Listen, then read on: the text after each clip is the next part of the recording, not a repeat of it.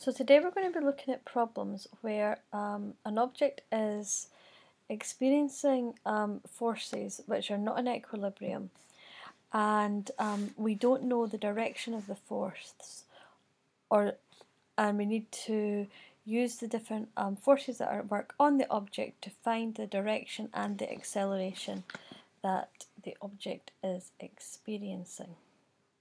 So we know if we have a situation where we have some object and say it's experiencing a force in direction A and a force in direction B, we can add these vectors up. So we just move this up to here, B is going to be here, and then this resultant force F would be um, the resultant. And F would be the combination of forces A and B and it would give us the direction and we can then apply Newton's second law on F. So that would be F equals MA. And we can use a combination of um, trigonometry to find the magnitude and the direction of F. Now we can also have a situation where if we have three or more forces, so we've got A in this direction, we've got B here, and see we've got C here. Um, we can do the same here.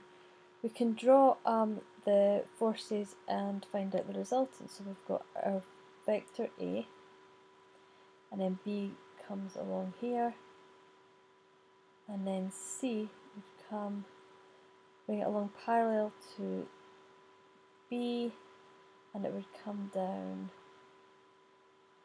like that.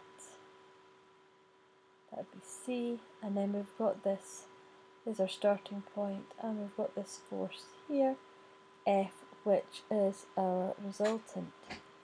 Um, so when there's two or more forces, when there's two plus forces, we find the components of the net force by resolving the horizontal and vertical components. So then we'd have the case where we've got F and we would have f of y and f of x and some angle theta. Um, to find the forces f of x, so say we had the situation like this, we have this, um, these different vectors, and this is our object. We would find the components of f of x for each of these and then we'd find f of y for each of these and add them together. So we'd have f of, find out what f of x would be, find out what f of y would be. And then we can use, once we've found the components of f of x and f of y, we can use Pythagoras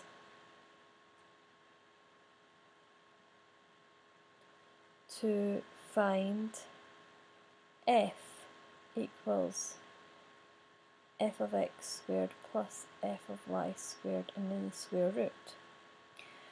Um, the direction, for the direction,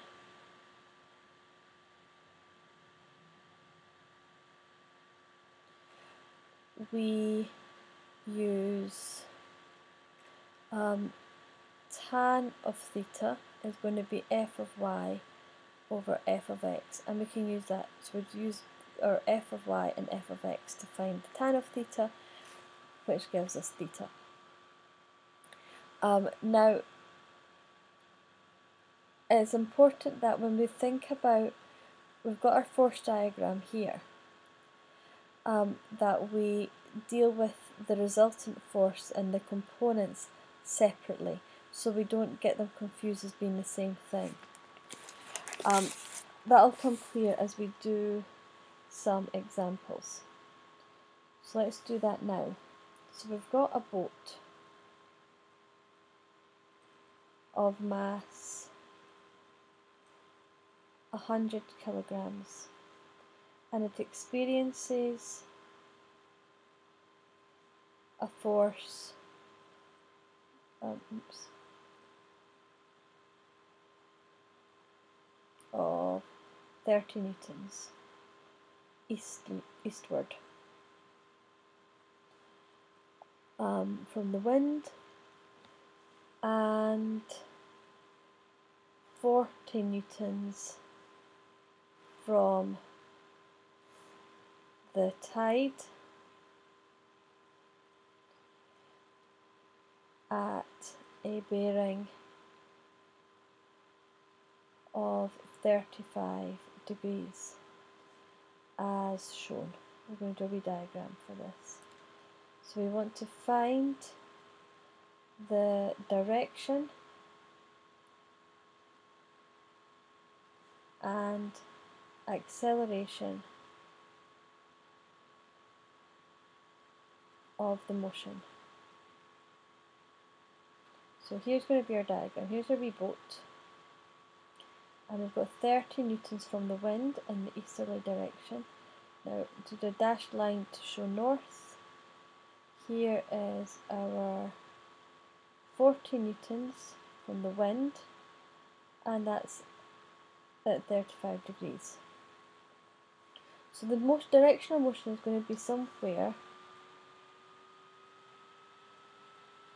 like that at some angle of theta. That's going to be the direction of motion. Okay, so what we're going to do is we're going to um,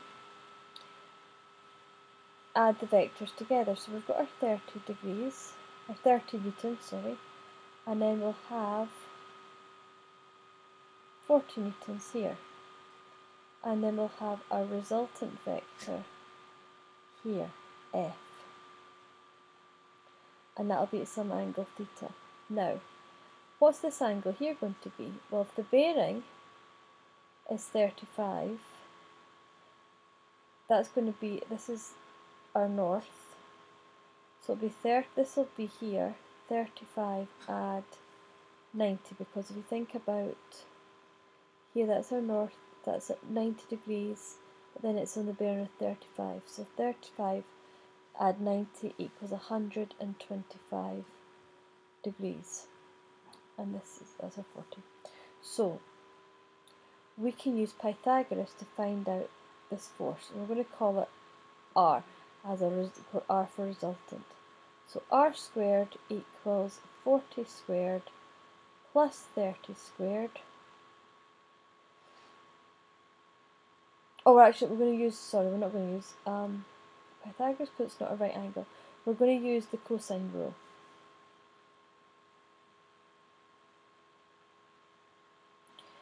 Um, so we've got 40 squared plus 30 squared minus 2 times 30, 40 times 30 um, and that's going to times cosine of 125 so working all that out and then taking the square root, we'll get R as 62.3 newtons. Now we know that F from Newton's second law, F equals ma. We've got a force of 62.3 and the mass is 100, that would be times A, so A must be 0.6 to 3 meters per second squared. Now, we can now add some more trigonometry to this. We're going to now use the sine rule to find our angle. So we've got um, 40 over sine theta must be equal to the resultant, which we've got here, 62.3 over sine of 125 and that will then working all that out, rearranging and everything, so theta must be 31.8 degrees.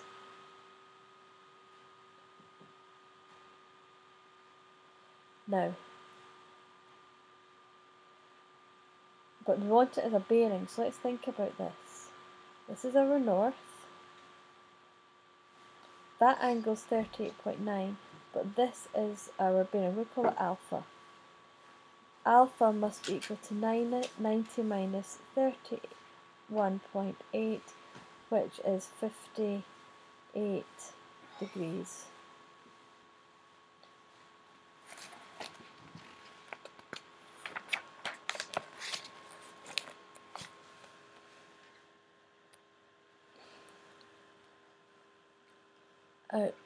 A particle of mass 3 kilograms attached to three ropes in the horizontal plane with forces of 2 newtons, 4 newtons and 3 newtons. And we're going to show us in a diagram. So we've got, oops a daisy, that's not a straight line. 2 newtons and then we've got 4 newtons and we've got 3 newtons and then we've got an angle of 30 degrees. So we want to find the acceleration and the direction. So what we want to do is we're going to have, um, we want to find the f of x, the, the x component and the y component of the forces to then find our resultant f. And that will also give us theta. So let's think about the, look at, at these vectors, f of x must be, now there's no component of f of x of the x force from this 2 newtons because it's in the vertical. Um, so we'll have 4 is in the x direction, so that's going to be 4. And then we're going to have plus, so this will be um, 3 cosine 30. 3 times the cosine of 30. And that will give us 6.60 newtons. Now we want the force in the y direction. So this vector, the 2 newtons, is all in the y direction, so that's 2. Um, but this one, now let's think about this in the y direction.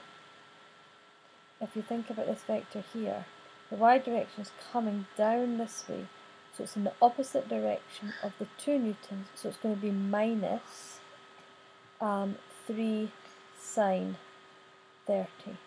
So when you're thinking about the components of the different forces, think about the direction you, the object here is going to feel them in relation to each other. So for what, what you're going to add and subtract.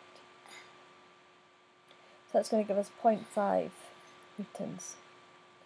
So there we've got the f of y in this bit here. That's the f of x. It's not clear. So now we can use um, tan theta must be f of y over f of x. So we're using the components here. So f of y is 0.5, f of x is 6.60 and that's going to give us um, what will give us theta is equal to 4.33 degrees and we can now use Pythagoras f squared is going to be f of y squared plus f of x squared working all that out you're going to get f equals 6.62 newtons now we can take this resultant force and now we take the resultant force and apply Newton's second. So F equals ma. We've got our 6.62. Now we've been told our mass is 3 kilograms and that then multiplied by the acceleration. Working that out, we'll have an acceleration of 2.21 meters per second squared. So I hope that helps.